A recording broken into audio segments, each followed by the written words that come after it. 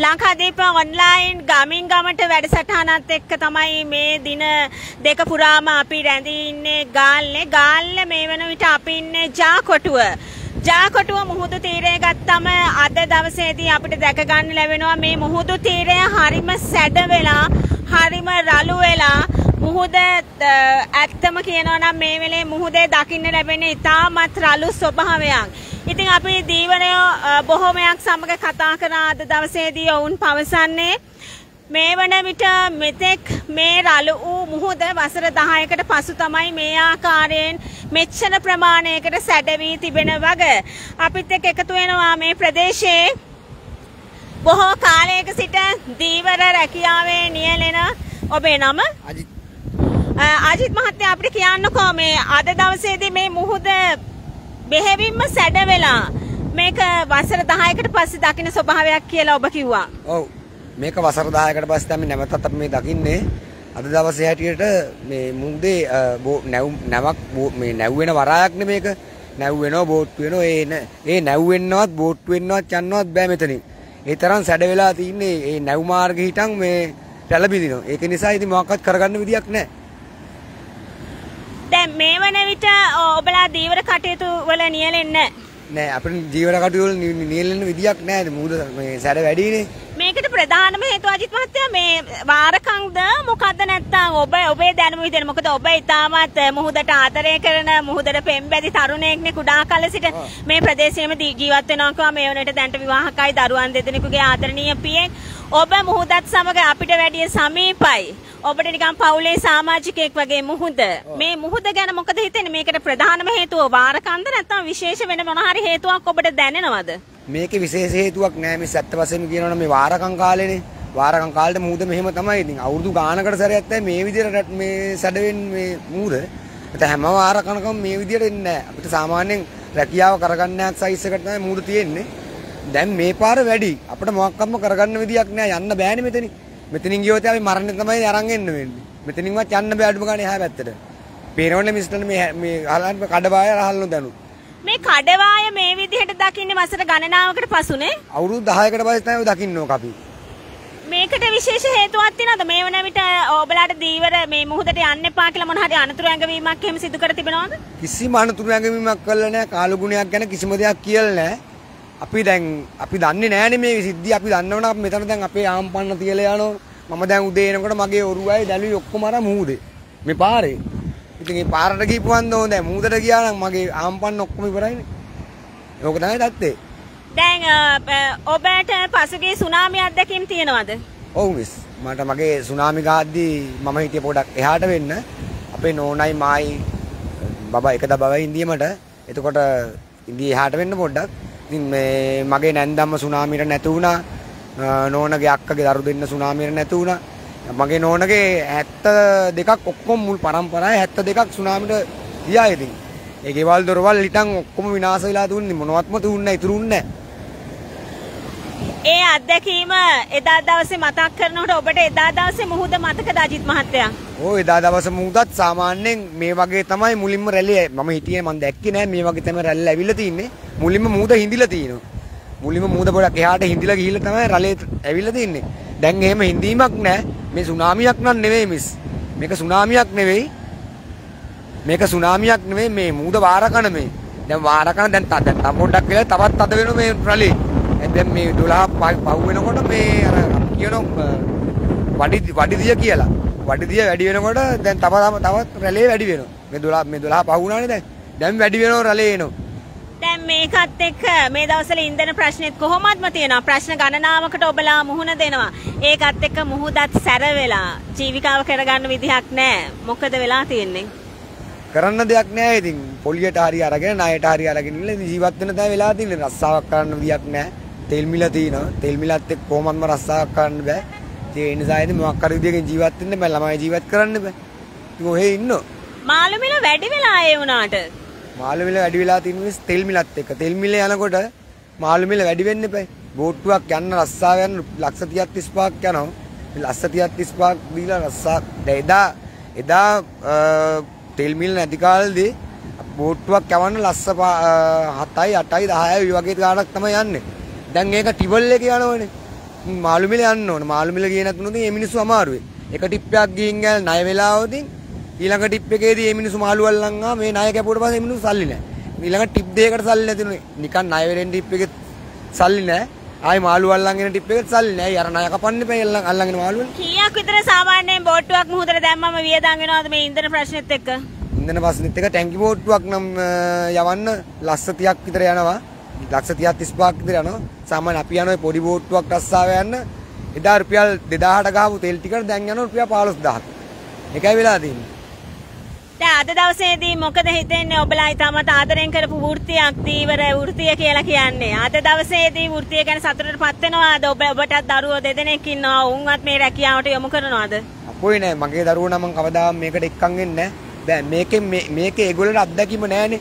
මම මෙතෙන්ට ආවේ මගේ අවුරුදු 10 වයසේ තමයි මම මෙතෙන්ට ආවේ මේ රස්සාව පටන් ගත්තේ. අපි ඉස්කෝලේ ගිහිල්ලා අඩුයි ඉස්කෝලේ ගියා අඩුයි යන් ඉස්කෝලේ යන ගමන් මේ රස්සාව කරා. කරගෙන තමයි ඒ දවස්වල අපි මේ සාමාන්‍ය ත- අපි මුහුදු රස්සාවට ඇබ්බැහි වුණේ අවුරුදු 10න් මම ය- මට හොඳ අත්දැකීමක් තියෙනවා. ඒ අත්දැකීමත් එක්ක මට මේ අද රස්සාව කරන්න බෑ කියලා මම දන්නවනේ. මම යන්නේ නැහැ. මට බයයිනේ මම ගියොත් මට මොකක් කරනවද දරු පැටව හදාගන්න කෙනෙක් නෑ. ඒ නිසා ඉතින් මම රස්සාවට යන්නේ නැහැ. අජිත් මද මේ මේ දැන් වාරකම් කිව්වම වෙනදට ඒ කියන්නේ පසුගිය වසරේ මේ විදිහටම වාරකම් තිබ්බද? පසුගිය වසරේ මේ වගේ තුන්නේ නැහැ. පසුගිය වසරේ අපි වාරකන්ට රස්සාව ගියා. යන්න එන්න පුළුවන් වුණා. මේ ඒ කියන්නේ වාරකම් කාලේදී සාමාන්‍ය රැකියා ඒ කියන්නේ මුහුදු යන්න පුළුවන්, මාළු අල්ලන්න පුළුවන්. පුළුවන්. මේ මේ පාර අපිට යන්න එන්න බෑනේ දැන්. මේක අපි දන්නේ නැහැ දවස් කීයක් මේක තියේවිද ඒ කියලා. කියන්නේ මේ පාර වාරකම් වල සැඩ වැඩි වෙලාද එහෙමද? ඔව් මේ වාරකන සැර වැඩි. ඒක නිසා රස්සාව කරන්න බෑ ක- කිසිම කෙනෙකුට යන්න බෑ. බෝට්ටුවකින් මම මෙතනින් යන්න බෑ. බෝට්ටුව ගියත් බෝට්ටුවට මොකක් හරි වෙනවා. පේනවනේ මේ මූදේ හැටි බලන්න බයයි මූද දිහා. මූද දිහා බලන් ඉන්නොත් අපි ආම්පන්න මෙතන තියනන්න අපෝ දැන් රැට මෙතන ඉන්නේ නෑනේ. දවල්ට හරි බලන් ඉඳලා යනවා ඉතින් ආම්පන්නක් ගන්න බෑ. අපිට මේ දවස්වල දැන් ආම්පන්න ගන්න විදියකුත් නෑ. මිල ගිහිල්ලා හැමදේම දැල් කෑල් දැල් කෑල්ලක හදා ගන්න විදියක් නෑ. රුපියල් 5000න් හදපු දැල දැන් යන 15000ක් එක දැලක් හදන්න. ඉතින් ඒ නිසා අපිට දැන් පන්න ගන්නත් අපි පන්නයක් අරගන්නත් ඕන අපි කායෙන් හරි පොලියට ගන්න 100ට 10ට හරි. ඒ අරන් තමයි අපි ඉතින් ওই පන්නයක් හදාගන්නේ. මෙතන වෙරළත් කාදනය වෙලා නේ. ඒ කියන්නේ වා- දවසින් දවස එක්ක වෙරළ කාදනය වැඩි වෙලා නේද? ඔව් දැන් ගිය අවුරුද්දේ අන්න අර ගල් වැටිය දැම්ම මිස්. අර අතන තියෙන ගල් වැටිය. මේ ගල් වැටිය දැම්මට පස්සේ මේ මේ වාරකන මේ වැඩි උනේ. ගිය අවුරුද්දේ අර ගල් වැටිය දැම්මා. ඒ ගල් වැටිය දැම්මේ නැත්තම් මෙහෙම මේ විදිහට මේ ගලවගෙන යන්නේ නෑ මේ පා දැන්. මේ ප්‍රධාන පාරටම ගිහිල්ලානේ රැළේ තියෙන්නේ. දැන් මිස්ටන්ට පේනවනේ. ඒ ගල් වැටියෙන් තමයි මේක මුල් මුල් මේ- මේ ගල් වැටිය තමයි හැදුවේ මේ தත්තෙට මුහුද. නැත්තම් රැළේ මෙහෙම ගොඩ දුවන්නේ හැමදාම. නැද්ද ඔබලාට කිසි සහනයක් මේ රජයෙන් අපේ කාංචන ඇමතිතුමා නම් කියනවා දීවරීන්ට බෙහෙවින්ම සහනාධාර සලසන වග. ඒ කියන දේවල් ඉතින් අපිට හැමෝම කියන බයිලා ඉතින් ඕව ඇහලා ඉතින් අහලා අහලා ඇති වෙලා තින්නේ කරන්නම් කියලා මුන් ආවනේ මේ මේ ගෝඨාබේ කියන එක කියලා ආවේ කරන්නම් කියලා මිනිස්සු රටවල් ඉඳලා ඉල්ලත් මුණ ඡන්දෙ දුන්නේ. ඒ ගුණේවත් තිබ්බේ නැන්නේ කාලා කන්නේ. මිනිසුන්ට කන්න බඩට කන්න බට්ටික නැති කරන ඊළඟට පොඩි එකකට පිටි එකක් දෙන්න විදියක් නැහැ. එදා 380 තියුණු පිටි එක දැන් අද 1160යි පොඩියා මන්ද පෝෂණකාරයෝ වෙනවා. මොකද්ද කරන්නේ? පි- දැන් බිස්කට් එකක් ගත්තොත් මාරි පැකට් එක රුපියල් 30ට තුනේ අද රුපියල් 100යි දැන් මොකද්ද කරන්නේ? පොඩියෙකුට කන්න බොන්න දෙන්න විදියක් නැහැ. පිටි එකක් දෙන්න විදියක් නැහැ. ඉතින් කාංචන විජේසේකරේ කියන්නේ ම- මේ මොකද්ද උගේ තාත්තගේ නම? උන් මහා එකත් ඕකුන් වගේ තමයි ওই පැත්තෙමනේ ඉඳියේ. ඒ මහා එකා වගේම තමයි ඕකත් ඕකුන් කරන්නේ. ඔක්කොම ඉතින් අරුන් කරන දේම කියන දේ තමයි උන් කරන්නේ. උන්ට මේ දෙයක් කරන්න දෙයක් නැහැනේ. ඉතින් මේ අපි කියන්නේ මේ රජෙන් නම් අපිට ඕනක් නැහැ කාලා කන්නින්ට අපි කියන්නේ මේ බඩු මිල අඩු කරලි වෙලා අපේ දීවර මම ආම්පන් ටික අඩු කරලා දී වෙලා අපිට ඒ සාහන දුන්නා ඇති. මම අපිට මුංගෙන් කන්න නිකන් කන්න ඕනේ නැහැ. අපේ අතපය හයිය තියෙනවා. අපිට මේ සාගරේ තියෙනවා. අපි බය නැහැ සාගරේ තියෙනකන් අපි යාට හම්බ කරන් කන්න හොඳට හයිය තියෙනවා. අපි පොඩියට ඉඳියට අපි හයියයි මුදු රස්සා කරන්නේ ඒක නෙමෙයි අද දවසේදී අ, වෙරළ තීරණ ඉතාමත් සැඩ අ, හ- හරිම රළුයි හරිම සැරයි. ඒ සැර වෙරළත් එක්ක තමයි අපිත් රැඳී හිඳින්නේ. හරිම අපහසු වෙන අ, අජිත් මහත්තයත් එක්ක තවත් ඉන්නවා මෙතන අ, මේ ප්‍රදේශයේම ජනතාව.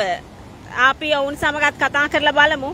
මේ දවස්වල තිබෙන ප්‍රශ්න ගැන. ඔව් ඔබ කාන්තාවක් බිරිඳක්. අද දවසේ ගෑස් එකක් නැහැ. ගෙදර කොහොමද යන්නේ?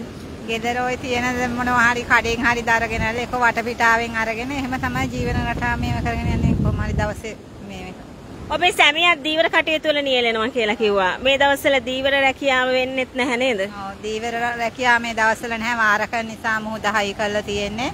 ඉතින් අපිට ජීවත් වෙන්න විදියකුත් නැහැ මේ දවස්වල මේ ඉතින් උදේ ඇවිල්ලා ආය හවස් වෙනකොට ගෙදර යනවා තමයි ඉතින් තෙල් තෙල් ප්‍රශ්නක් තියෙනවා. ඒ ඒවත් එක මේ ගොඩක් අපහසුයි ජීවත් වෙන තෙල් තියෙනවා නම් මොකක් හරි රස්සාවක් අපිට කරගෙන දවසේ වියදම මේව කරගන්න තිබ්බා.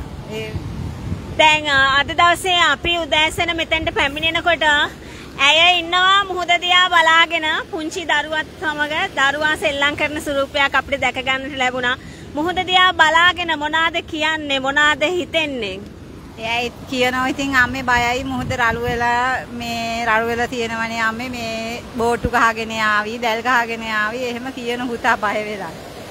මං හිතන්නේ පුංචි පුතු මෙතරම් මුහුද රළු වෙලා තිබෙනවා දකින්නේ මේ සැරේ නේ. ওই දැක්කේ අද තමයි. කාලෙකට. ඔබට අත්දැකීම් තිබෙනවාද මුහුදත් සමග? මුහුදත් සමග ඉතින් මමත් දැක්කේ ගොඩක් කාලෙකට අද තමයි මුහුද මේ වගේ මෙච්චරම හයි වෙලා තියෙනවා.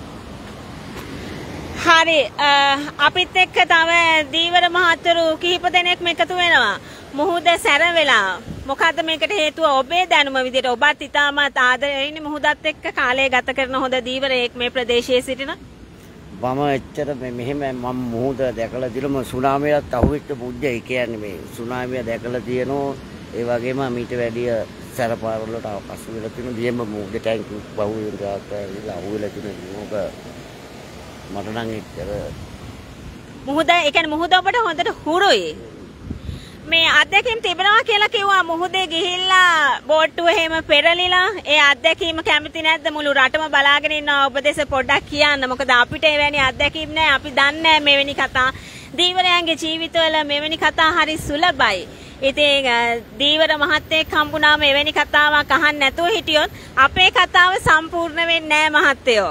ඒක නිසා පොඩ්ඩක් මම කැමතියි අත්දැකීම මුළු රටටම ඔබ කියනවා නම්. මම දැන්ටත් කියන්නේ බහුජන යාත්‍රාවල් දැන්ටත් ඉන්නෝ දවස් 3-4 සී ඇන්කර් කියන ඇන්කර් දාගෙන ඒවත් කුඩු වෙලා ගිහලා කියන්නේ මීට වැඩිය පෙබල ඇති ඒ දියම මූද. ඒ අපිට වැඩි එම්නිස් ඒ කුජලයන් දරුණු ලෙස බැට කනවා. එන්න බැරුව ඉන්න. දවස් කීයක් විතර එන්න බැලුව මුහුද හිටියද?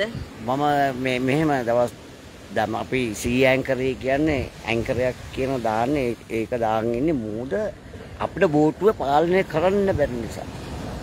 ඒ කියන්නේ ඇනියෙන් ගහන රැළේ අවරෙන් පිට වෙන්නේ. උයා ගන්නවත් බෑ.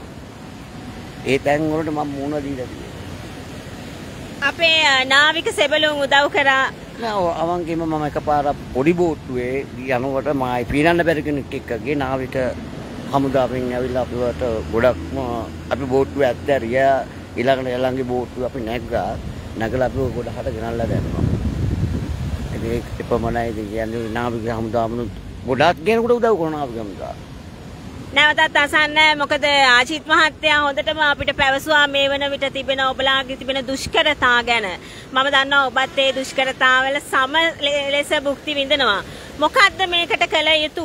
ආණ්ඩු මාරුවකින් ඔබලාගේ ප්‍රශ්න විසඳන්න පුළුවන්ද? සාමාන්‍ය සහනාධාරයක් වගේ දීවරයන්ට දෙනවා නම් බොහොම හොඳයි කියන එක තමයි කියන්නේ. ඒ කියන්නේ දීවරයන්ට හම් වෙන්නේ නැහැ. ඒ කියන්නේ තියෙන එක්කෙනා කනවා. නැති බැරි අපි ඉන්නවා මේ අපිට මේ හාල්ලටයක්වත් දීලා නැහැ. එච්චරයි මට කියන්න පුළුවන්. ඊට වැඩි දෙයක් කියන්න. දීවර ජනතාවට සහනාධාර ලැබුණේ නැති වගේ තමයි අපිට ඔවුන් පුන පුනා පවසා සිටියා. ඒ කියන්නේ මෙතෙක් ඔවුන්ට කිසිදු ආධාරයක් ලැබී තිබුණේ නැහැ. පසුගිය දවස්වලදී තුන් රුපියල් 2000 රුපියල් 5000 මෙවැනි සහනාධාරවත් ඔවුන්ට ලැබී තිබුණේ නැහැ. මේවත් එක්ක අද දවසේ තිබෙන ඉන්ධන හිඟයත් ඔවුන්ගේ මේ ජීවිකාව කර ගැනීමට නොහැකි වෙලා තිබෙනවා. ඉතින් බොහෝ අපහසුතා තිබෙනවා. මාළුවල මිල ඉහළ ගියත් ඔවුන්ට ඔවුන්ගේ රැකියාව කරගෙන යෑමේ අපහසුතා ගණනාවක් තිබෙනවා. ඉතින් අද උදෑසන සිට අපි ජාකොටුව වෙරළ තීරයේ සිට රැඳී සිටිමින් මේ ප්‍රදේශයේ මේ ජනතාවගේ ප්‍රශ්න කතා කරමින් සිටියා.